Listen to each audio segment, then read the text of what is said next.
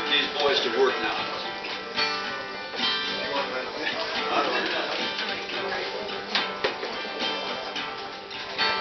How bad?